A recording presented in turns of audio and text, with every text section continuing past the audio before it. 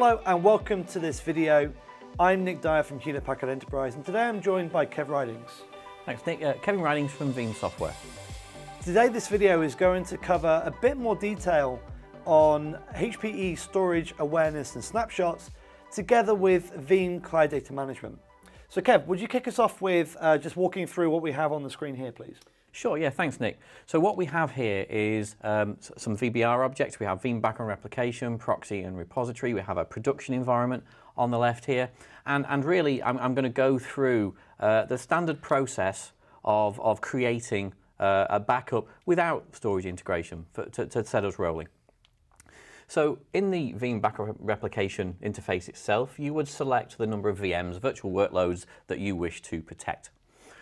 Once we've selected those, we've got those within a scheduled job, we can then, when we start the job, perform some in-guest quiescence. So we can actually go into the VM itself, we can trigger any VSS writers for Exchange, applica uh, other applications like Active Directory and SQL.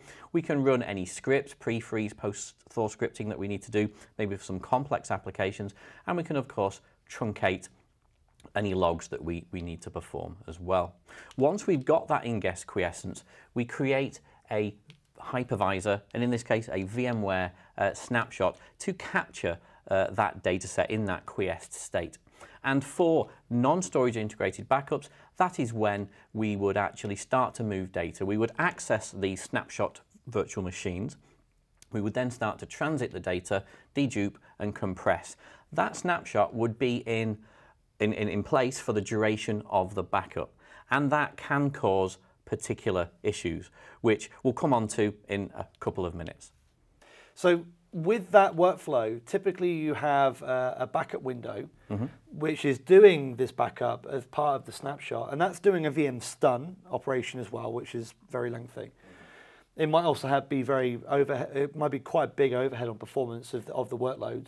It certainly can. It can. It can impact the, the production workloads. Absolutely. Yeah, and typically, so typically, what happens in these kind of environments is up here. If I would like to draw you right here, you will see that we have typically a 24-hour backup window, right? So you've got 8 p.m. kickoff. It might be another 24 hours for a next backup window. And that's your restore points. So you've only got a single restore point every 24 hours.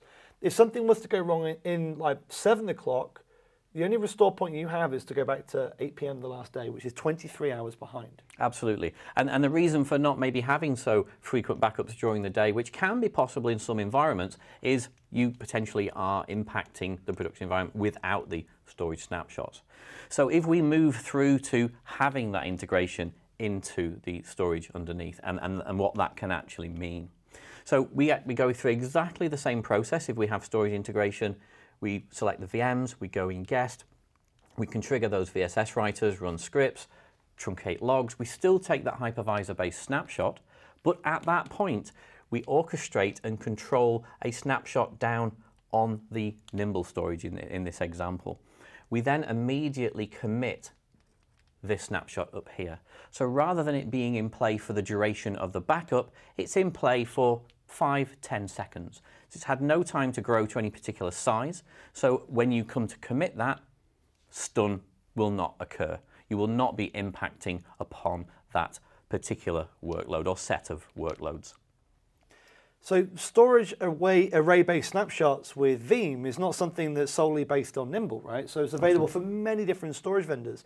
The reason why it's so compelling on Nimble is primarily because some of the snapshot, the restore, and the cloning technologies really are best of breed. So on the Nimble array, it could be an all flash, it could be a hybrid flash, it could be generation one all the way up to our most recent generation platforms. On those arrays, the experience is exactly the same. You can do 10,000 snapshots per volume, and you can take 190,000 snapshots on the entire array. So that could be 10K per volume, 190,000 per array, which is a considerable amount. Mm. Some storage arrays would only really take 256 Absolutely. or even less. These snapshots do not have any performance overhead, so you can take them whenever you like, augmented through Veeam. That, they have no performance overhead whatsoever, so you can have lots of restore points. So I could now have maybe a bi-hourly or even hourly snapshot or even 30 minutes. but I'm doing that on an individual set of VMs. So I could now set most important VMs snapshotting every hour, maybe some silver VMs, mid-tier important, maybe being every hour or every couple of hours, and so on and so forth. It does not have any performance overhead on your primary storage or your secondary storage on the Nimble platform. And, and to take that a little bit further, to, to, to understand the, true capabilities uh, of, of the integration, of course, we, we, we capture that um, uh, quiesced data set down on the Nimble in a series of snapshots, as Nick uh, uh, suggested there, bi-hourly, hourly, or, or, or every half hour perhaps, on the primary device. But what we can also do is we can orchestrate a replication to a secondary Nimble device as well. So giving you the ability to adhere to our 321 that we, we, we, we like to talk about, three copies of your data, two different media types. And having the ability to move them in a very efficient way onto the secondary device really delivers a great value. I think Nick can probably explain a little bit better about the efficiencies of moving those snapshots. Absolutely. So the, the snapshot technologies on Nimble are no dupe by design. So the array does full deduplication and compression. The snapshots that we take are point-in-time redirect and write snapshots using metadata. So we're not copying blocks from tier to tier. We're just taking snapshots of the metadata. Because of that, it's incredibly efficient and it's instantaneous. When Veeam tells us to take a replica, we take a replica using the metadata of only the change deltas, which are also compressed. So we're doing Nimble-based replication here.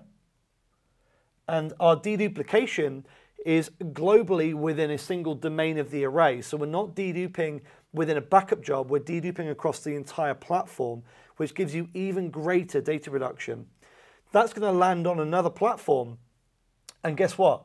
Well, you can have those snapshots, but you can now retain years worth of snapshots on here, should you wish to, maybe on a hybrid array there might be a better cost per gig. This could be an all flash array. You could have like 60, 90 days over here, even further if you want to have that instantaneous primary base restores.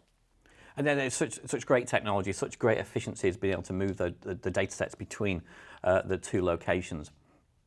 But of course, they're all application consistent. For, uh, for, for all the VMs we've captured, application consistent here and also here as well, all orchestrated from within Veeam backup and replication. But there is a next step. There is something else that, that is possible. Backing up data, taking data out of a system is one of the largest things you do to an environment. It's one of the heaviest things you do. So ideally, you want to be able to move it out of band. So there's the full backup from primary and backup to secondary, which we'll go through here. So we've talked about creating an application consistent snapshot here. If you wish to take a backup from the primary, then what we would actually do is we would mount a clone of the snapshot in question to our proxy.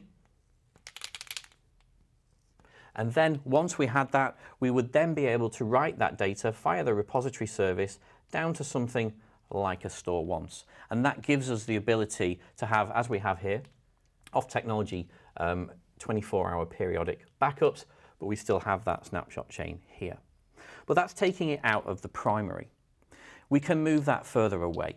Because we're replicating the data um, and the snaps and possibly with a dissimilar retention to the secondary device, we don't have to, if we wish to take a backup, take it out of the primary.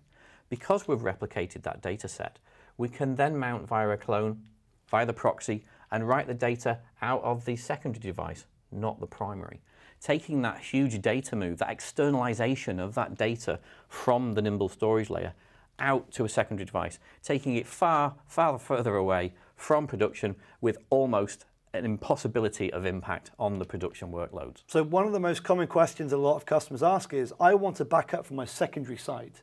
So I, I don't want to have this on my primary. I want to replicate to the secondary, back up from the secondary onto a tertiary longer term archive. This is exactly what we're doing here. So you've got primary with your production, you've got your secondary site as a, as a replication. You can back up directly from replication onto your other landing zone. You could have this active-active if you wanted to, right? So you could have active workloads on both sites, replicating bidirectionally, with each one being a backup of each other going to somewhere else. So you've got lots of flexibility in all of this. Um, one of the things that Kev mentioned was it uses cloning technology for this. So Nimble cloning on the platform essentially is instantaneous. And that clone is zero copy. So we do not copy any blocks of data. We just promote the metadata and the associated blocks alongside it as a writable version of the snapshot. So again, it's instantaneous. It has no performance overhead and Veeam can orchestrate and augment everything itself. So you don't manage any of it on this platform. You're not managing this. Everything through one management plane, which is Veeam. And, and, and to sort of speak to that one management plane, we've, we, have we have used that to create the data sets, create those uh, quiesced uh, and, and replicated sets of data, even out to a tertiary device. Once we have them there, we have the ability to recover from all those different locations using things like our uh, Explorer for storage snapshots. So that's the ability to mount the snapshot from primary or secondary, or if we're talking other types of recovery, out of the tertiary device. But we can mount those snapshots, explore them for virtual machines and perform uh, instant VM recovery. We can uh, perform application item recovery for things like Exchange. So we would be able to mount out of the secondary and within four clicks have a view into our mailboxes within perhaps our Exchange server and be able to recover email items, calendar items, contact items, perhaps out to an MSG or into a PST, send that to a user, recover it to 365. Really so many options from either a storage snapshot on primary or secondary or out on a tertiary long-term retention such as a, a StoreOnce. The Explorers are really very powerful they, they give the user the ability to perform perhaps complex recoveries, things like um, uh, for, for SharePoint, for Active Directory, as I said, and there's some great features within the Active Directory.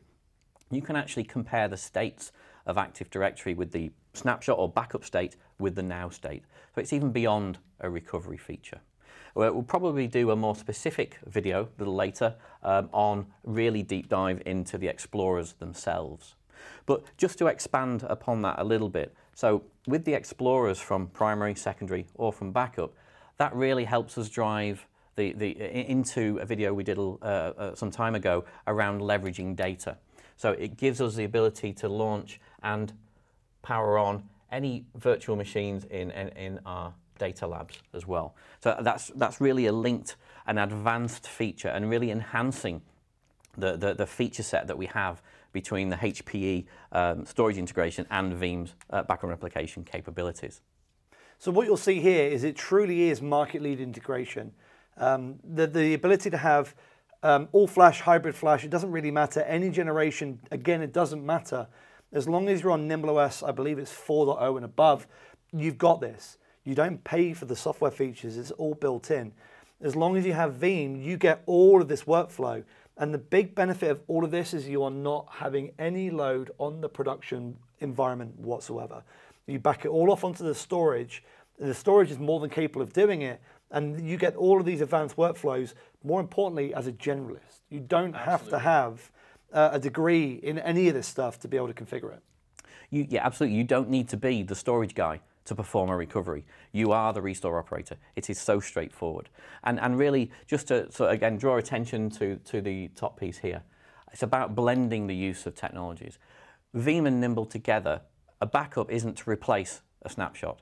It's about blending the value of both of them together. The snapshots being spaceless, very efficient in time, and then backups being true off, off technology, so not affected. You maybe heard me talk about threat planes and threat domains. So blending the use of the two technologies together really gives you that really robust uh, and, and feature-rich restore capability. And uh, for business owners, the ability to roll back for an hour or a day or a month or a year or even multiple years through one place, augmented by technology without having to really know about it is there's a huge amount of power there. But even just be able to go, well, I can offer the business a, a one hour, uh, uh one, one hour RPO, RTO that is going to save so much time and effort, especially if you think about ideas, well, not ideas, but if you think about um, ransomware or if you think about issues that we're now seeing, everything now runs 24 7. I need to get data back now and easily and actually to a very, very close restore period. This is how we do it. So thank you very much for watching this video. We hope it's been useful. If you'd like to see the other videos in this series, we'll make sure that we put them in the description bar below. But for now, for me, Nick, and for, for Kevin from Veeam, thank you for watching and have a great day.